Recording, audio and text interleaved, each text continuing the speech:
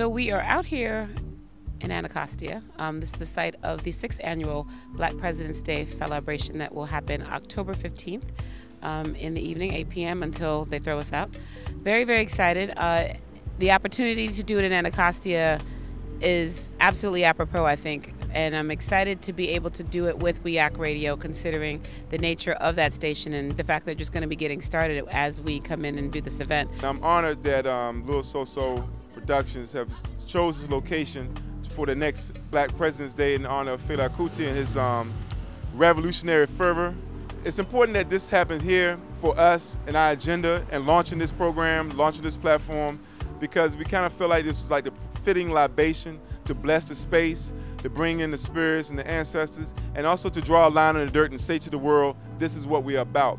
And this is what we're, um, uh, we're going with this. In terms of music, in terms of politics, in terms of the content and the political stances of um, Fela Kuti's uh, legacy, these are things that we stand on. And in continuation of that, how else could we um, um, pay honor to it and acknowledge it other than fittingly honor him by bringing that energy into this space. Fela means a lot to a lot of people, but to me in particular, he is a remembrance of what it means to be free, what it means to understand who you are, and to be unafraid to represent that. So I'm excited in that way to bring this event to another level, um, to bring it to a whole other part of DC. There's a tendency to hang out on Northwest. So for us to come to Southeast, I think sends a really particularly poignant message right now that, you know, DC as a whole, we need to embrace all of it. So I'm embracing Anacostia with this event, and I'm hoping that Anacostia will embrace us.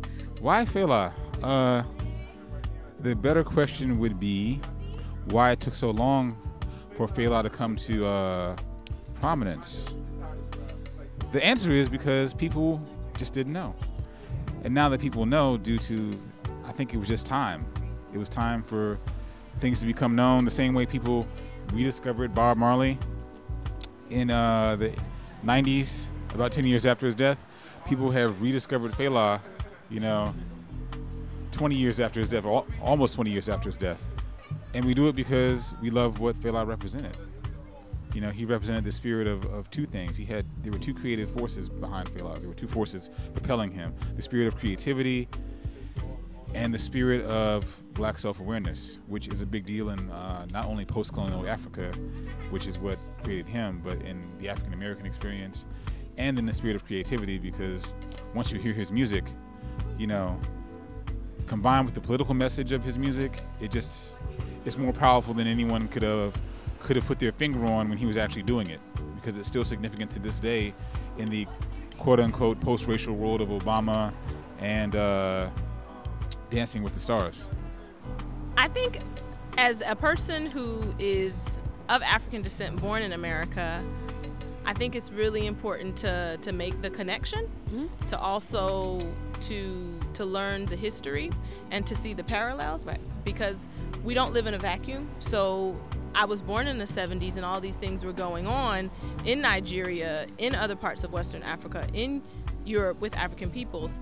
And to really have an awareness of it just makes me, gives me a deeper respect for the connections of black folks through the diaspora. And he was such a symbol of freedom, of liberation, of self empowerment, um, and really of just being sick and tired of being, being sick, sick, and tired, tired like Fannie Lou Hamer said. and so I think that he's so iconic, mm-hmm. and he's so um, he's such a figure that needs to be highlighted and needs to be celebrated just like we celebrate a lot of other people every year. One of the key components, of course, for those who've been before is that you have the music. So DJs will be back in full effect. We are going to have live music. There will be food, and as always, the pageantry of the ladies will be there. The uh, the famous um, women of, of the Fela entourage, you know, as represented with the faces and the jewelry and the clothing. That's all going to be part of it as usual. And I think we forget that these women are very much a part of how Fela is able to do everything that he does. Fela without the women just isn't Fela, and I think that the the aesthetic quality that the women bring to the to the to his presentation, and the strength that they bring to the presentation is often sort of overshadowed by the the weed smoking and the walking around and the underpants and the and just the the bravado that is is Fela. I mean, the machismo that is Fela is so big